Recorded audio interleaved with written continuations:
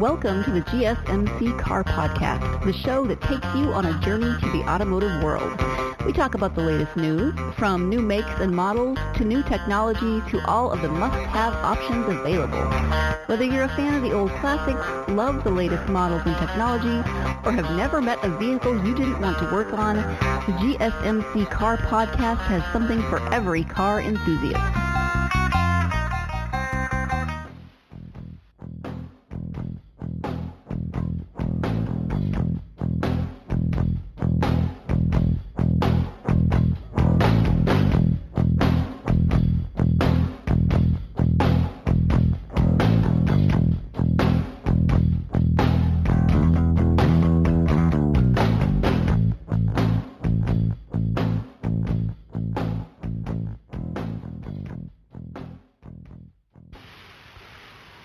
Welcome to the GSMC Car Podcast, brought to you by the GSMC Podcast Network. I'm your host, David Lucy Mabel. Okay, folks, as you all have been following, as you all have been knowing, for the past two podcasts now, we have been doing a series on the most influential cars from each decade. Um, as you all know from the previous podcasts, the car was invented in 1886 by Carl Benz, and we did the most influential car of the 1880s. Uh, the 1890s was the last podcast, which was the 1894 Duryea Motor wagon. And then now we have the 1900s. We've turned the century. This is the 1900s. If you all are privy to car history, to American history, frankly to world history, you will know that Ford developed the Model T in 1908, and it was produced from 1908 to 1927. So yes, today, folks, we are going to be discussing the most influential car, perhaps of all time, but the most influential car definitely of the 1900s, which was the Ford Model T. So buckle your seatbelts. We are going to be taking a trip back to the past, pretend that it is 113 years ago and the first Model T has rolled off the assembly line. Let me introduce you to Tin Lizzie, which was a common nickname of the Ford Model T. So let's get started. Um, and before I say what I'm going to say in this segment, in this podcast, we are going to be discussing the introduction to the Model T, the the specifications of the Model T, other cars that were around at the time period, as well as world events that were relevant to shaping this era. And of course, in segment four, we are going to be discussing my personal thoughts. So let's get started. Okay. So really the Model T is such a famous car that it really doesn't need an introduction, but nonetheless, I'm going to introduce it. Um, it was produced from 1908 to 1927. It has the distinction of being the first affordable automobile. And affordable obviously is a relative term. Any car is going to be somewhat expensive compared to like, I don't know, a blender or a toaster or like a gallon of milk. But the Model T was instrumental, was essential in getting the average American on the road, to getting the average person on the road. Because before this, before the Model T, a car would cost almost as much as a house. In some cases, cars cost more than houses because the car was still a fairly new invention at this time period. Think of it this way. Um, the car, the technology for the car had existed for less than 30 years at this point. The car had only been around for 22 years by the time Ford introduced the Model T. And the only car to be mass produced before this was five years earlier, which was the 1903 Oldsmobile Curve Dash Runabout. And even then, that was a somewhat affordable car, but not as affordable as the Model T. Ford capitalized on Ransom E. Olds' invention of the assembly line. He capitalized on it, made it more efficient, and that contributed to the cost cutting of the Ford Model T. Because before this, before the assembly line was invented by Ransom E. Olds, who, who started Oldsmobile, and before cars were produced on the Olds uh, were uh, produced on the assembly line, like the Oldsmobile Curve Dash Runabout, cars were hand built and cars were built to order there was there was not such a thing as a mass-produced car. Cars back then were very much like how Rolls-Royce is today. Rolls-Royce car there's not like forgive me if this is not a perfect example, a perfect comparison, but um, Rolls-Royce today is largely hand-built, custom made to order vehicles. I mean, they've got their models that they build, but you basically have to order one from the factory.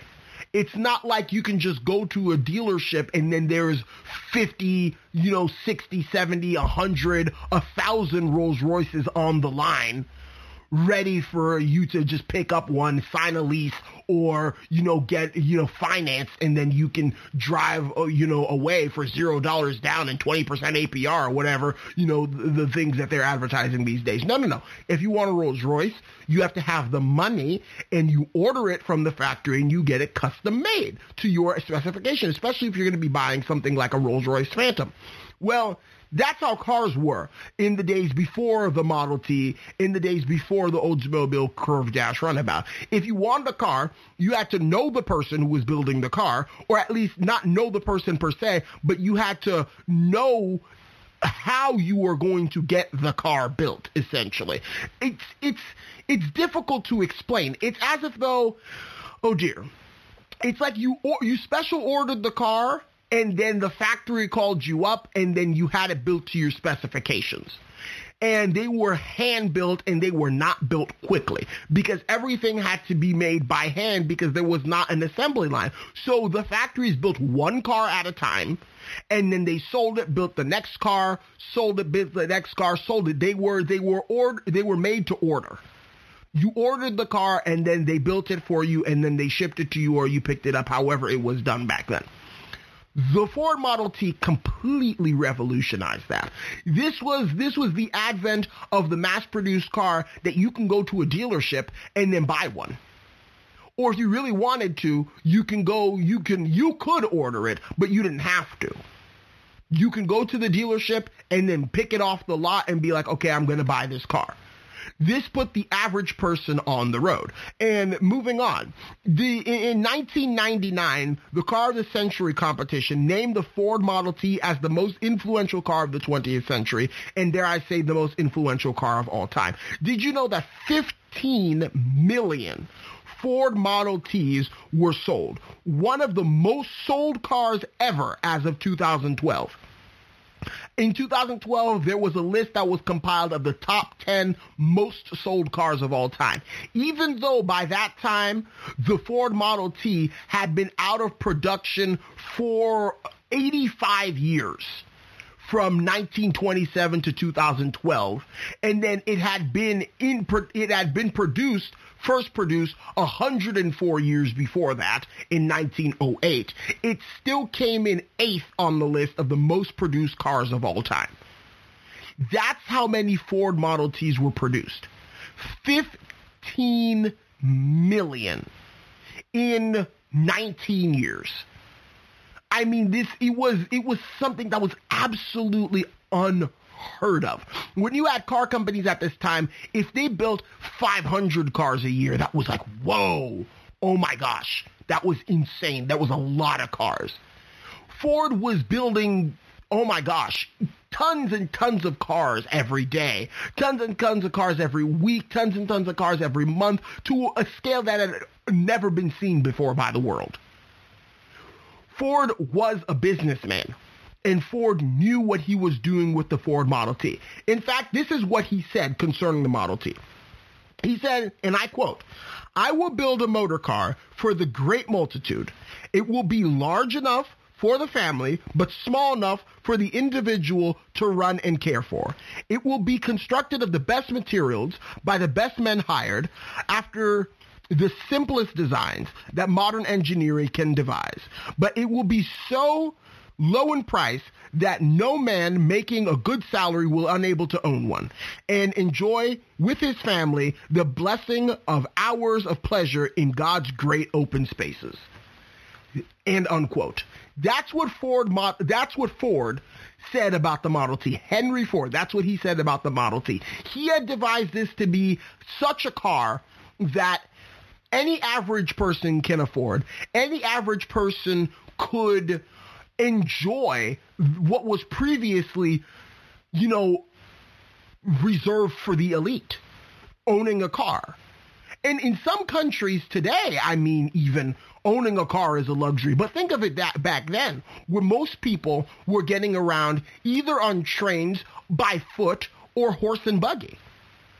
This was a time where the the Model T put the average person at behind the wheel of an automobile, which was absolutely crazy to think about. I mean, this is this is as if though this is as if though today with with the advent of electric cars. I mean, it's like Tesla is putting the average people behind you know the wheel of electric cars.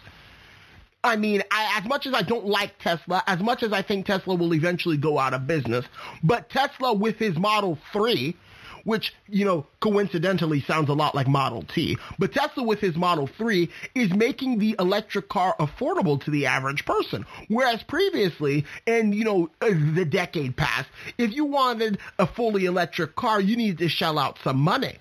But now, you know, the Ford model, uh, not the Ford, the Tesla Model 3 is like, you know, 30 something thousand dollars, about the price of an average car. And it's putting the, you know, the electric car in the hands of average people.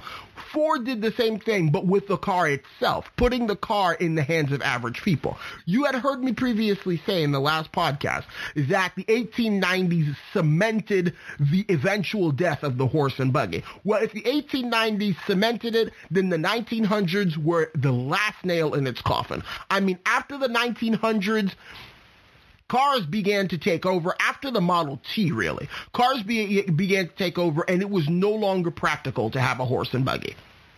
No longer practical. Unless you were Amish and you didn't believe in having a car, a horse and buggy was no longer your mode of transportation after the Ford Model T came out. This was insane. This was ludicrous. This was something that, you know, nobody could have predicted that Ford would have done this in such a grand scale, in such a grand fashion. I mean, the Ford Model T had so many different uses and applications and variants. I mean, you can get everything from a roadster to a depot hack to this to that. They made trucks, they made armored cars, they made them in all shapes and sizes for every every segment of the population that you can imagine, from police to fire uh, to, to firefighters to regular civilians to school buses to this to that. The Ford Model T was applied to everything imaginable because he put it in the hands of the average people. He put it in the hands of the average people. I mean, that's not something that anybody had done before. You know, Carl Benz made the car, but Carl Benz did not have the vision that Henry Ford had. If Carl Benz was the father of the automobile, then Henry Ford was its school teacher. It taught it to be one of the world's, he taught it to be one of the world's greatest inventions. And that we all have Henry Ford to thank. I mean, Henry Ford was a controversial figure. Don't get me wrong. He was an anti-Semite and he did not treat his workers very, very well. He was a very, very stuck in his ways sort of old man. I mean, he pushed his son, you know, to, you know, incredible pressure. His son ended up dying early, Edsel Ford. I mean, though Henry Ford was a very controversial character. But one thing we cannot deny was that Henry Ford was the mentor of the, the, the modern automobile he had a great vision for what the car could be and he accomplished it and saw it accomplished within his lifetime. And that's something that is absolutely amazing. It's something of romance. I mean, these are things that they teach us in school about the Ford Model T. You don't learn about the Cadillac DeVille in school. You don't learn about, you know, the Ford Mustang in school you learn about the Ford Model T because the Ford Model T was so much more than just a car. The Ford Model T was a piece of American history. It was a piece of world history. If the Ford Model T had not existed, and nobody had ever come up with that idea, we would be in a very different society today, at least here in America. Because in America, like I said, largest car market on earth, we rely on automobiles. It is rare to find an American person who is old enough, obviously, to have a driver's license to not have a driver's license. It is rare to find an American person who is old enough to have a driver's license but doesn't have a car. And it is even more rare to find an American person that's old enough to have a driver's license and has never driven a car. We rely on cars so much here in America, and it is impossible to find an American person that has never been in an automobile or that's never seen an automobile. Unless you're taking the Amish, which we don't count them in this because the Amish, they have their religious convictions, they don't do cars. But even then, some of the Amish, before they have their Rumspringa, before they get baptized into the Amish church, they owned cars and they drove cars and they held driver's licenses. So it is I can say with great confidence to find an American person that has never had some sort of interaction with the automobile. Why? Because Henry Ford made it possible with the mass-produced affordable automobile in the form of the Model T. So Please stay tuned for segment two, in which we're going to be discussing the specifications of the Ford Model T. What was it like? What made this thing tick? And what what sorts of things did it do? So please stay tuned.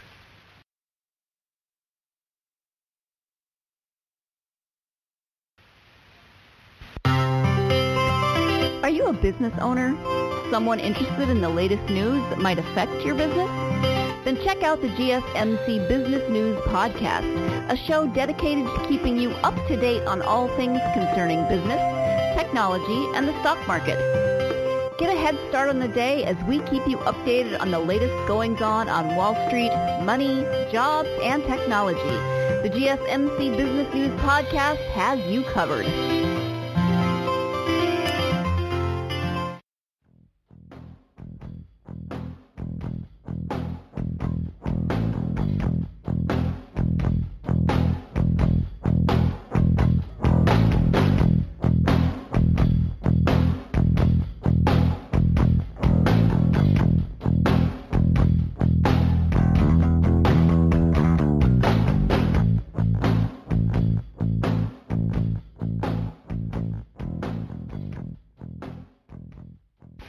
Okay, folks.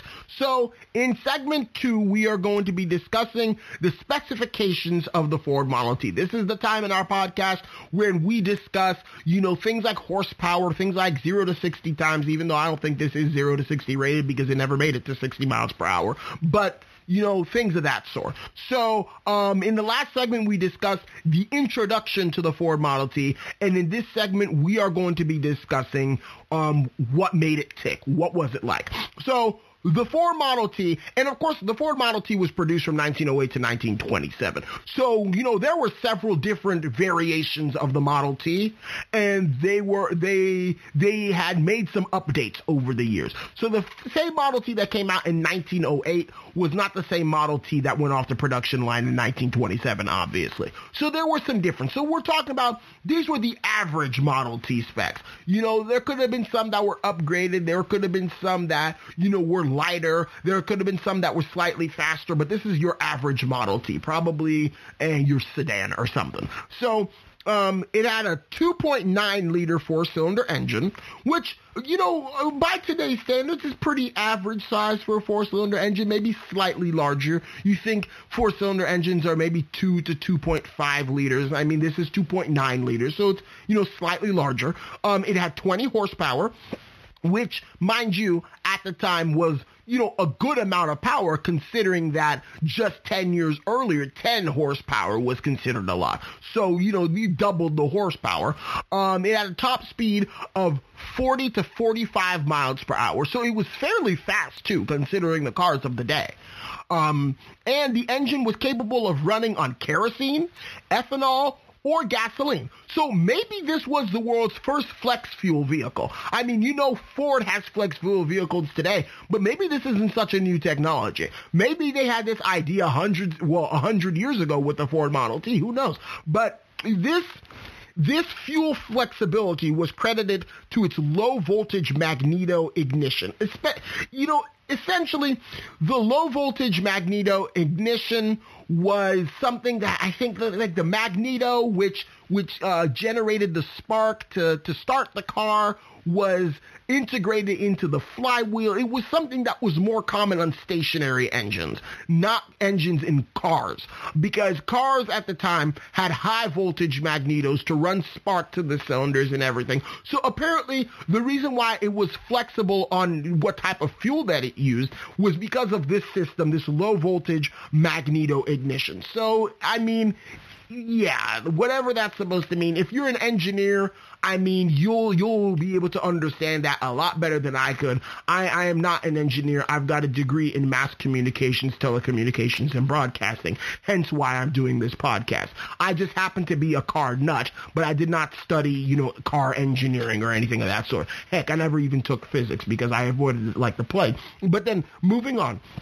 It did not need a battery to start. It was hand cranked instead. So cars of this uh, era, known as the brass era or the Edwardian era of automobiles, um, did not have batteries.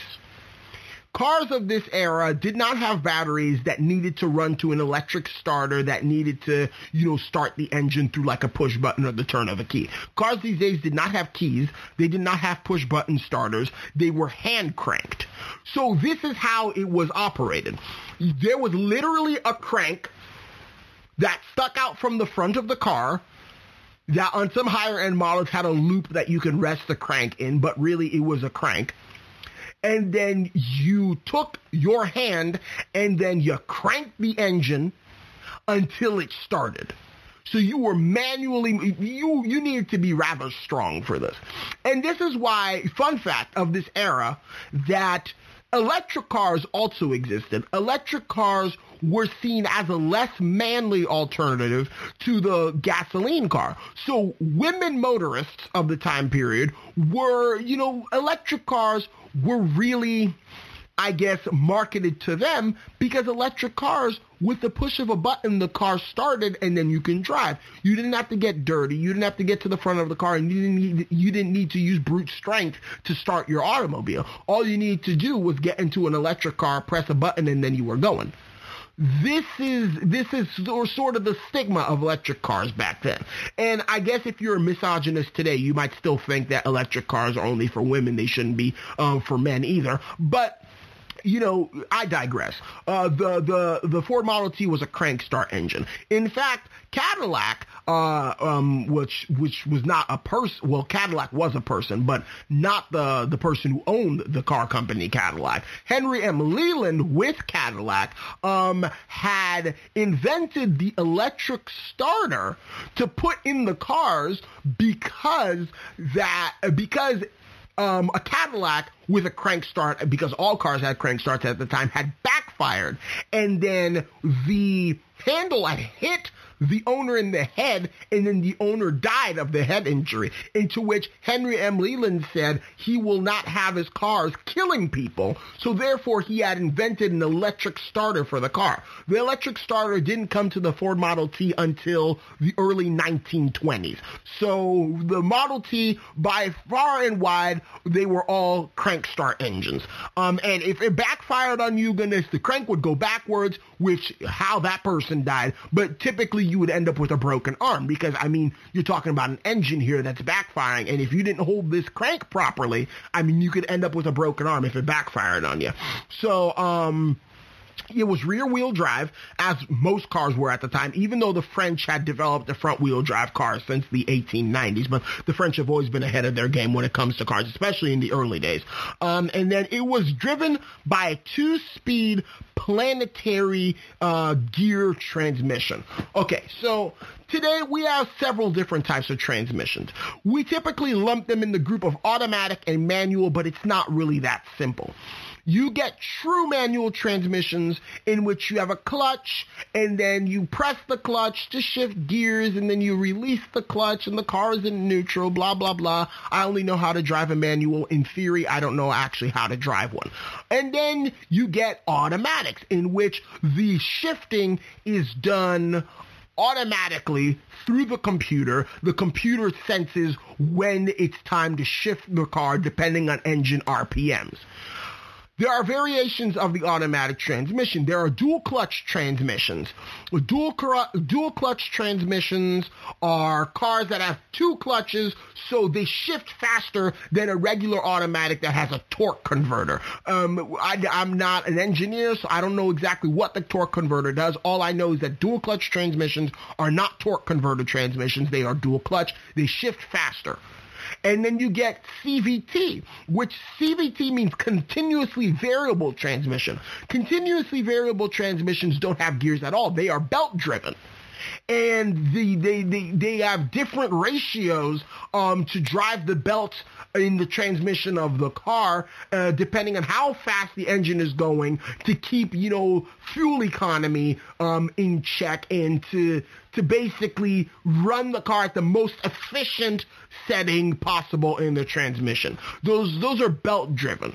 And then you have automated manual transmissions in which the engine is still you know, the, the, the, the transmission is still manual, but you pre-select gears and then it tells you when it's going to go into that gear. So you pre-select the next gear and then it goes into that gear when it's ready to do that. And that, the only car I've ever seen that on, it's not really a car, it's a truck. It's the Mercedes-Benz Unimog, and if you watch Doug DeMuro's video on the Unimog, you can see that transmission in action.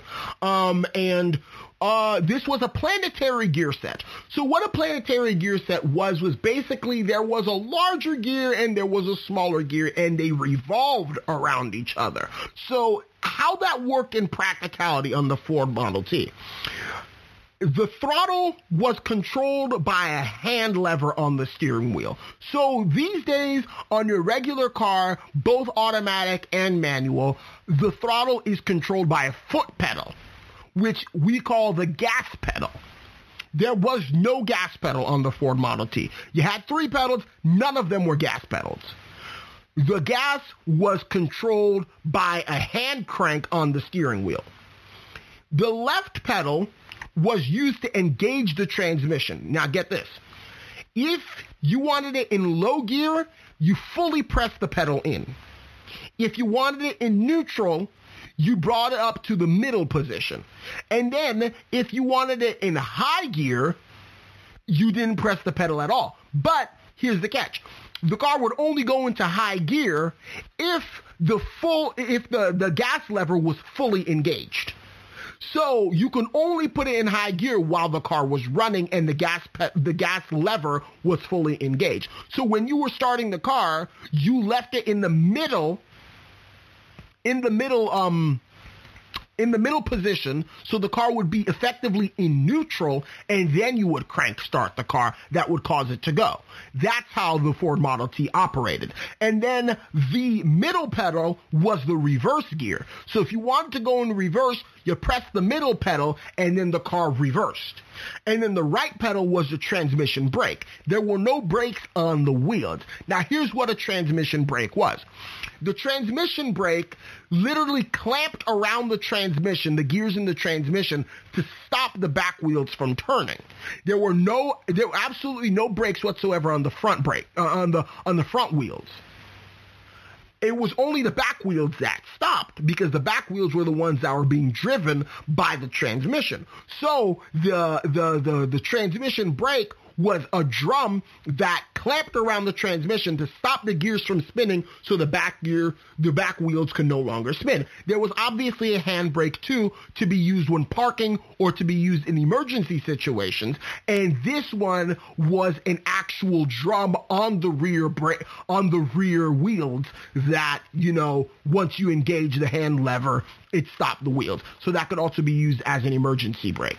So that's how the Ford Model T operated. So if you did not know how to operate this. You would think it's your regular old manual. You had clutch on the far left, you had brake in the middle, and you had gas on the right. And then whatever your, you know, your, your, you wouldn't pay attention to the hand levers. That's not how those cars were. Hand lever, gas, and then you had the three pedals that did their three different functions. So that was very interesting. Um, very, very different from a modern vehicle. Um, the Ford Model T could even be, you know, I mean, could even be held in what was a sort of cruise control if you kept it in full advance on the gas pedal and then you you know left it in high gear because then you could you would have no pedals that you were you were uh, pressing in a sense. You wouldn't have to press the brake because the brake doesn't make the car go. You obviously wouldn't press in reverse. And if you disengaged the the the left pedal, that meant it was in high gear, and then the the throttle was advanced all the way the car would cruise because the throttle is advanced all the way and then the, the transmission is in high gear so you didn't have to press any pedals if you wanted to cruise. So it was like an early form of cruise control in a sense. And, you know, Ford Model T wasn't the only car at the time period that did this. This was a common feature. Um, but um, just to point to the versatility of the Ford Model T. The Model T could be modified to be used on railroads, and it came with appropriate track width as well. I mean, there was a four and a half foot, or yeah, four and a half foot track width for northern railroads that you could fit the car with flanged wheels and it would ride on the railroad. And in the south, the common track width was five feet, so you could even get one with a five foot track width to drive on southern railroads. The, car, the Ford Model T was was you know was used in all sorts of applications, not just, you know, road use, not just for your regular, you know, plebeian everyday uses either. I mean, this car, this car was used in all sorts of fashions for all sorts of things in all sorts of different ways. So those were some of the specifications of the Ford Model T. Um, they, it came in a variety of colors. It wasn't until after 1914 that all of them came in black. But in the first days, they were actually not available in black. You can get them in red, you can get them in gray, you can get them in green, or you can get them in blue, I believe. And then um, from like 1912 and 1913, they were all blue with black fenders, and then from 1914 on, they were all black. And so, yeah, that the reason why they were all black was because black paint dried the fastest and therefore was the cheapest to produce. So yeah, there you have it. Those were the specifications of the Ford Model T. So moving on, we are going to be talking in segment three after the break about other cars and the history of the era. So please stay tuned.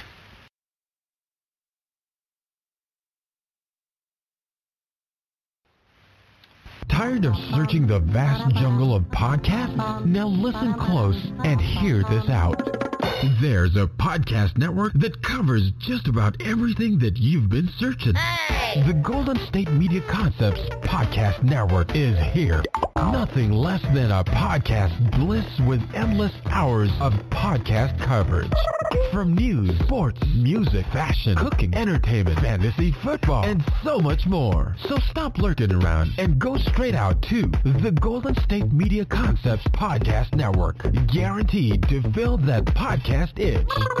Whatever it may be. Visit us at www.gsmcpodcast.com. Follow us on Facebook and Twitter and download us on iTunes, SoundCloud, and Google Play.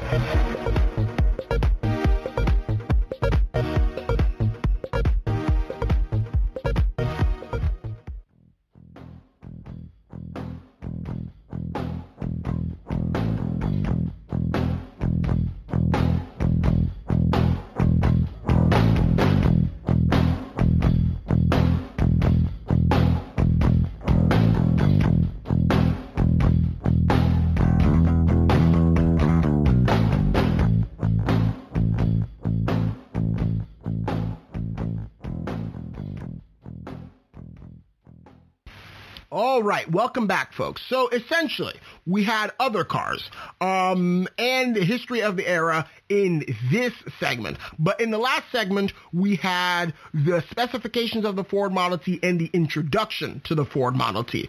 So other cars of the era included things like the 1903 Oldsmobile Curve Dash Runabout that I already mentioned, but let me reiterate that. Uh, it was the first mass-produced car. Henry um, no, not Henry, Ransom E. Olds, which started the now defunct um, Oldsmobile Motor Company, was the person who invented the assembly line. And he was the first person to mass produce a car using the assembly line. Ford did not mass pro- was not the first one to mass produce the car on the assembly line. Ford, however, was the one who made the best use of it. And so there you have it. Um, the, the Oldsmobile Curve Dash Runabout was the first mass-produced car in 1903.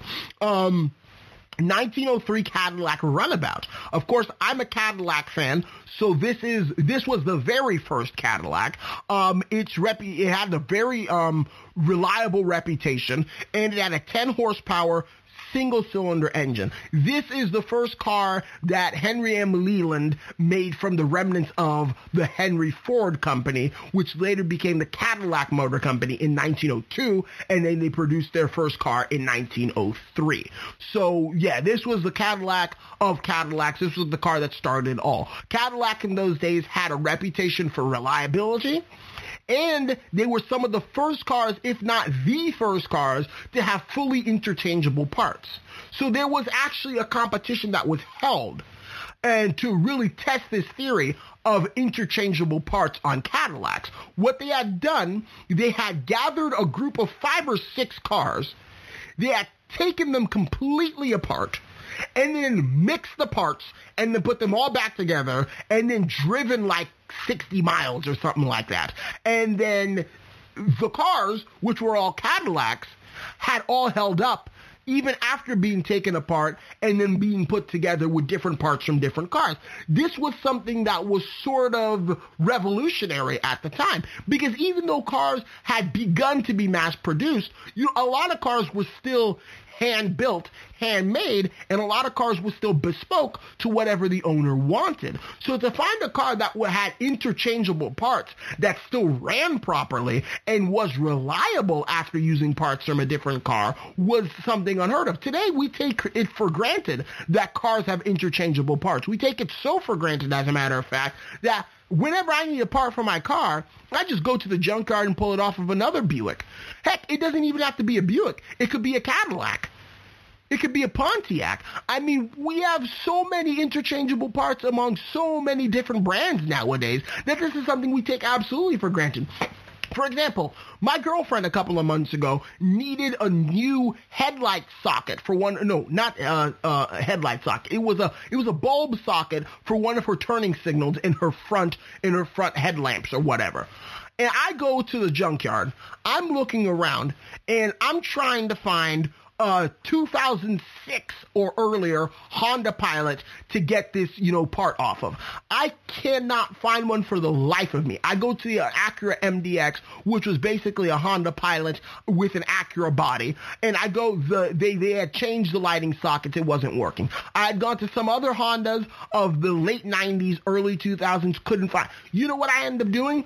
I had a brainchild. I was like, ah, you know what? Let me go check some of the Acura sedans from the 90s. Maybe they might have the same, you know, lighting circuits and lighting brackets and whatnot. And lo and behold, I went to a 1997 Acura RL. First thing I found was the lighting socket that I needed because parts interchangeability. We have Cadillac to think of that. We to, to, to thank for that, and the Cadillac you know, the 1903 Cadillac Runabout was the car that started it all. So uh, moving on. And then we had the Mercedes Simplex. The Mercedes Simplex was, this was, these were the days before Mercedes Benz. At this time, Mercedes was the name for DMG, which was Daimler Motor Gesellschaft or something like that, some German name. Daimler Motor uh, forgive me for all the German listeners out there because I'm absolutely butchering your language, but uh, the DMG, the the name for it, the mark that it marketed his cars under was Mercedes. And then Benz had been a company that had invented the car in 1886, run by Carl Benz. It was a separate German car company. Well, this was before the two merged in 1926. Um, this was uh, obviously in the 1900s. There was a Mercedes Simplex. This was a very powerful car with 40 to 60 horsepower. We're talking about in the days I just mentioned the Cadillac Runabout had 10 horsepower. 10 horsepower was was a respectable amount in those days, especially coming from a single cylinder engine. Imagine if it had four cylinders and you had 10 horsepower per cylinder, just like this car had you would have 40 horsepower. The Ford Model T only had 5 horsepower per cylinder. And the Ford Model T at 20 horsepower was a respectable number. The Mercedes Simplex had 40 to 60 horsepower. That was unheard of in those time periods. Absolutely unheard of. And it was a very expensive automobile. This was the car that really brought the automobile to like the royal families, the noble families of Europe. Because these people, they had obviously virtually unlimited wealth. They could buy whatever the heck they wanted. So if they were going to buy an automobile, it was going to be a Mercedes Simplex. This was the days before Rolls Royce even. I mean, the Mercedes Simplex was, dare I say, one of the first ultra luxury sedans that really set, you know, ultra luxury into, into the market for people. Because in those days, you know, having a car was a luxury in itself for almost all people, especially in Europe before the Model T had gotten there. Now you have these cars these cars that are ultra luxury cars that are, you know, you know, very nice, very powerful, very well built, very reliable. These are the cars that the rich and famous are going to be flocking to. So the Mercedes Simplex had really set the tone for luxury cars of the era. And there's obvious reason why I didn't choose any of those cars to do the podcast on, because the Ford Model T absolutely outshines those cars in terms of influence. But I had to mention them Nonetheless, purely for educational purposes, so you all can know what other cars existed at the time period and basically what the Ford Model T was up against. But really, those cars couldn't hold the candle to the Ford Model T. So let's move on um, to the historical time period. What was going on in history at the time? There was first wave feminism. First wave feminism saw progress. I mean, universities for women opened up in Japan, in Bulgaria, in Cuba, Russia, and Peru. This was was a turning point from the 1890s to the 1900s. It's a new century. I mean, people are beginning to, you know, challenge the notions of traditional gender roles. They're tra- they're beginning to challenge the notions of, you know, what the world had always been. They're beginning to chant, uh, um, um, ch- you know, challenge those notions. And as you all would know, in 1920, American women would gain the right to vote. So this, you know, just like Rome wasn't built in a day, you know, women didn't get the right get the right to vote in a day either. I mean, it was in these time periods and even before this that you know, feminism had begun to grow and to take root, and then women began to see themselves as equal members of society and demand proper rights, not only in the United States, but in the world over.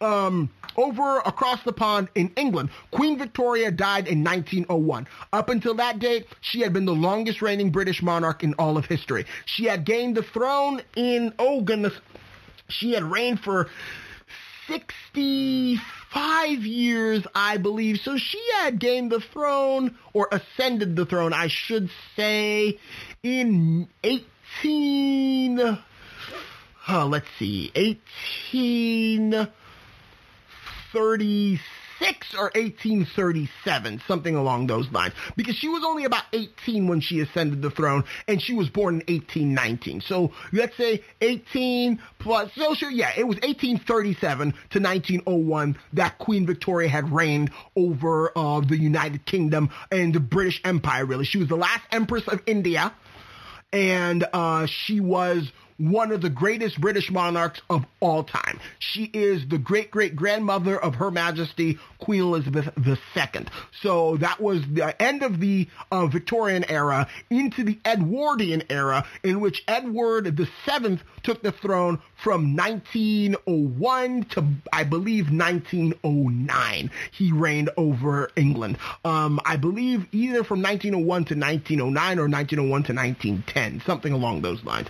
And then um, you had um, the 1906 San Francisco fire and earthquake um, that happened obviously out in California. And then you had the Commonwealth of Australia was formed as well. Of course, there were all sorts of other things going on in the world, but so, those were some of the big things that were going on. So not only did you have, you know, cars, you know, making great advances in technology, but you also had, you know, great advances in, in the world. I mean, the, you know, the industry industry was rising. Um, people like John D. Rockefeller was making his millions back in the day with Standard Oil and everything. I mean, this this was this was a time period to be alive. Late 1890s, early 1900s, everything is changing. Everything is challenging the notions of old. Everything then was thoroughly modern. To quote, quote modern Millie, I mean, you know, it was it was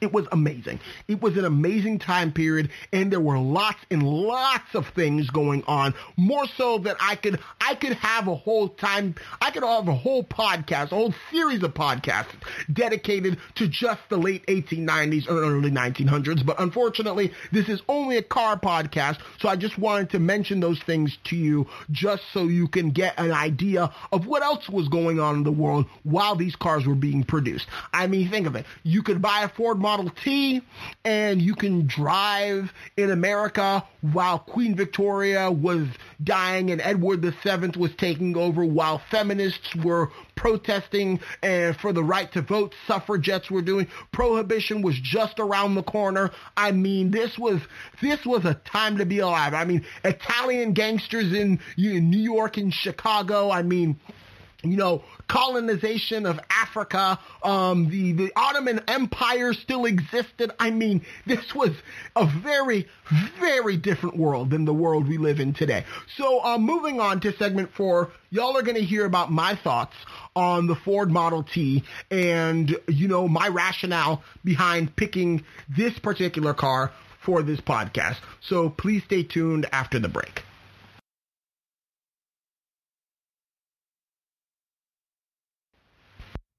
you work in the world of marketing and advertising? Are you a media buyer or the owner of an agency? Have you been looking for a podcast to help stay on top of all the goings on of those worlds? The GSMC Marketing News Podcast is dedicated to keeping you up to date on all things concerning marketing and advertising. Get the latest marketing news from what major businesses have planned for the coming year to the newest trends in advertising from podcasts, digital and streaming to the old standbys of radio, television, and billboards. The GSMC Marketing News Podcast has you covered, whether you're a marketing agent or a business trying to expand your brand.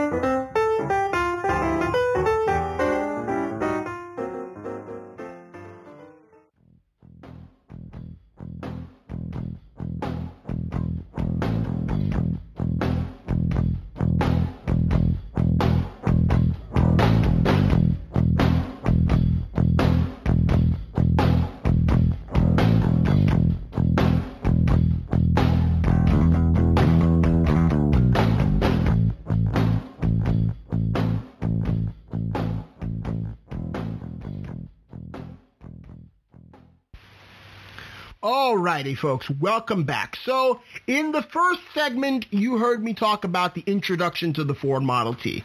In the second segment, you heard me talk about the specifications of the Model T.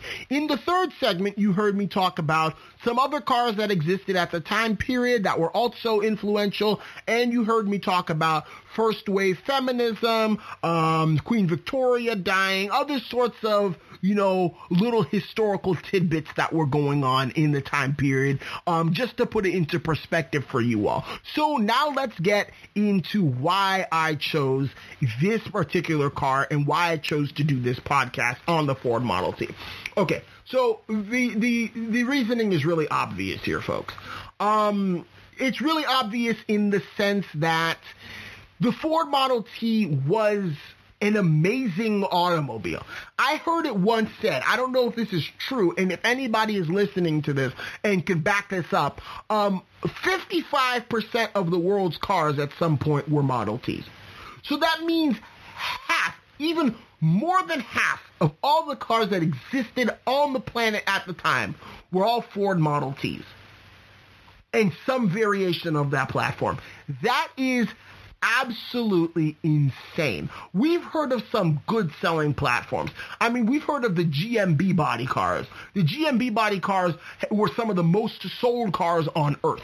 I mean, you've heard us talk about you know, Ford F-150s. Um, that's, you know, the best-selling Ford vehicle. You've heard me mention the Toyota Corolla, which is the best-selling car currently on Earth at the time. But this, this, this is a record that will likely never be beaten because it was such a unique time period and Ford had such a grip on the automobile market because he was so brilliant.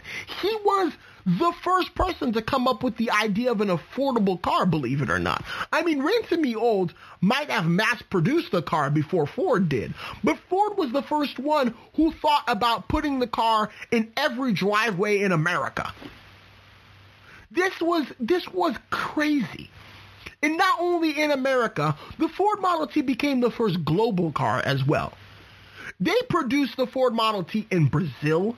They produced it in the UK. They produced it in Japan. They produced it right here in America, obviously. They produced it all over the earth.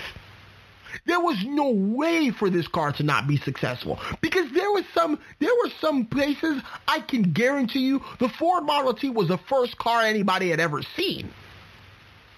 The first the Ford Model T, you could go anywhere on earth and see them at the time. You could go anywhere on earth today and probably still see couples in either museums being preserved or heck still being driven around because not gonna lie, last year on my way to work when I used to live in Tampa, goodness, guess what I saw? I saw a Ford Model T being driven on Bearss uh, on Bruce B. Downs Boulevard at the intersection of Bruce B. Downs and Bearss in Tampa. I saw a Ford Model T, goodness. I mean, you can even still see them on the road today. The Ford Model T's legacy is is is unshakable. You cannot shake the legacy of the Ford Model T.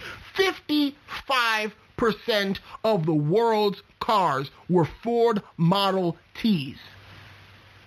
I mean, like I said, very unique circumstance. Henry Ford was a brilliant businessman. I mean, it's a record that I can say with great confidence will never be beaten. 55% of the world's cars will never be Toyota Corollas. 55% of the world's cars will never be Cadillac DeVilles, will never be Buick Park Avenues, will never be Tesla Model S's, Tesla Model 3s, uh, Hummer EVs, or whatever the, you know, the new crazy foolishness is nowadays. The Ford Model T has it in the bag as for that record at least, and probably the most influential car ever seen and we will ever see is the Ford Model T. I could not have had a complete record and, you know, run with the GSMC podcast on cars if I had not mentioned the Ford Model T and, di- and gave it its justice. I have done the Ford Model T its due justice. I've done it its due diligence. The Ford Model T deserved the podcast. And by gosh darn it goodness, today it got its podcast because the Ford Model T is too important for car history not to mention. So there you have it. The Ford Model T was absolutely crazy as far as you know how successful it was. I mean, and and they were well built too. They were well built. You can still find tons of them in running original condition today. I mean, and a Ford Model T frankly, a Ford Model T ain't too expensive. Even, you know, frankly, you know, all of them are almost 100 years old now. But a Ford Model T ain't too expensive. You can pick up one for like eh, 15, 20 grand. It's not too expensive because they made 15 million of them. They're still pretty common as far as classic cars go. Granted, a lot of them have been chopped up and made into T-buckets and whatnot, but I mean, you can still find an original condition Ford Model T for probably less than $30,000, which is a steal, considering that you can own a piece of history. Now, moving on. Um, Wow, I just wow, I just went off on a rabbit trail there. Let me go back to my notes. Um, yeah, like I said, the legacy of the Ford Model T is unshakable. I had to choose this podcast because I was I was debating within myself. I was debating within myself, should I do the Ford Model T or should I do the Oldsmobile Curve Dash Runabout? Because I was like, the Oldsmobile Ford, uh, Curve Dash Runabout was the first mass-produced car first mass-produced car, and I mean, it's still it's one of the most influential cars of the 1900s, and dare I say, it's the second most influential car of the 1900s because it, it, it paved the way for mass production. It was the first car to be produced on an assembly line. If it had not been for the Oldsmobile Curve Dash Runabout, the Ford Model T may never have seen its day, may have never have seen its success that it did. So, it, you know, it has to thank the Curve Dash Runabout as well. But I told myself I had to. I absolutely had to mention the Ford Model T, and I had to do a podcast on it because of how important it was. I would be remiss not to do a podcast on the Ford Model T. So, uh, moving on. The legacy is unshakable. Uh, to this day, people are still hot rodding Model Ts. I mean, in the decades, in not even the decades, in the years after World War II, let me do some history with y'all. In the years after World War II, people had come back from war and they had money to burn. And so a lot of them, what they would do, they would buy old Model Ts, which at that time, you know, the oldest ones were about 30 something years old. The newest ones were about 20 years old. They would buy old Ford Model Ts and they would tinker with them and race them. Because if you remember um, learning about this at any point, during the era of Prohibition, during the 1920s, the Ford V8 had come out. Ford V8 had come out, was very easily modified and made faster so that they can get away from police who were who were um, chasing down moonshine runners and they had modified those cars. Well, those modified cars after the war were the basis for some of the very first NASCAR vehicles. NASCAR has its root in prohibition and the cars that bootleggers would modify so that they would be able to outrun police vehicles. So what the the soldiers, a lot of the, the GIs from World War II had come back. They had applied those same principles that existed during Prohibition of souping up cars and making them faster. They had bought some old Model Ts, which were a dime a dozen, super cheap, super plentiful. They would buy them and they would hot rod their engines to race them. So this is basically what started the hot rodding culture was the Ford Model T. The Ford Model T was integral in the early hot rodders day because it was lightweight. It had the potential for a lot more power out of its engine. And not only that, it was cheap and it was plentiful. So, you know, you couldn't go wrong with a Ford Model T. A Ford Model T, you know, for a hot rodder back then is kind of like what, uh, you know, uh, uh, a Honda Civic is to, you know, those high school boys that put fart cans on them. I mean, a Honda Civic, good, reliable engine, plenty of potential for power, super lightweight, super cheap, dime a dozen. You can get them anytime, anywhere, especially a late 80s, early 90s Honda Civic for nothing. And then you can easily and cheaply modify it and make it go faster than it was intended to go. I mean, that's the same thing they did with the Ford Model T. You see, human nature does not change. The book of Ecclesiastes does not lie. There is nothing new under the sun. What they did with the Ford Model T back then is what they do with Honda Civics today. They hot rodded them. And so it was it was the beginning of hot rodding culture. I mean the Ford Model T. And the engines were so you know, reliable and so versatile that they were used in a variety of applications up until 1941. They were used in boats. They were used as stationary engines. They were even produced in new form for people who owned Model Ts and refused to get rid of them so they can keep on, you know, maintaining their cars when their cars finally got worn out and they needed a new engine. Up until 1941, you could buy a new engine for a Ford Model T and install it. And I'm sure it wasn't that difficult to install because, you know, it was a relatively simple engine with few moving parts. I mean, you could probably do that in an afternoon in less than an afternoon. So, I mean, the engine proved a cheap and viable engine for not just hot rodders, but for so many different applications. The Ford Model T was a car. The Ford Model T was this. The Ford Model T was that. The Ford Model T was a way of life. And that's not even an exaggeration. I mean, this was this was crazy. And, and this was really what spelled the end of the horse and buggy. Because even in the early days of the automobile, the first decade or two, the cars were being produced, but unless you were filthy rich, unless you were rich Uncle Pennybags, you couldn't buy a car. You still had to rely on your horse and buggy or going on foot, using trolley cars or using trains to get around. You couldn't go, you couldn't buy your own car unless you were making tons of money. But until Ford came around, this is what ended the horse and buggy. And I wrote in my notes, if the 1890s confirmed the death of the horse and buggy, the 1900s were the last nail in its coffin. That's what it was. So, folks, I just want to update you on our social media um, venturings with the GSMC Car Podcast. Uh, we still have a Twitter account that's at GSMC Car Podcast, and we now have an Instagram which is at uh, GSMC underscore Car Podcast. Um, last time I checked this morning, we have 39 followers which I believe last podcast we had done a couple of days ago. I think we only had like 21 or something. So we've we've gained followers, which is good. We have about 39 followers, and continue to follow us and comment. And if you comment something that I include in one of my podcasts, I will definitely give you a shout out. I mean, I don't have a reason not to because we still barely have anybody. We haven't grown to that such large of a size to not do it.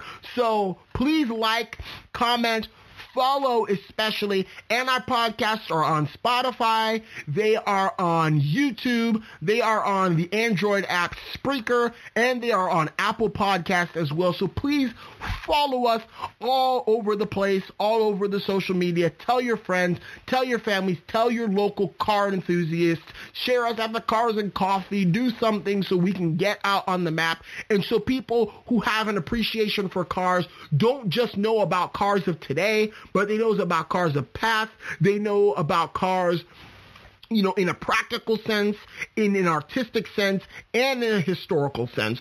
So this is what I try to cover in the GSMC Car Podcast. So please tell your folks about us.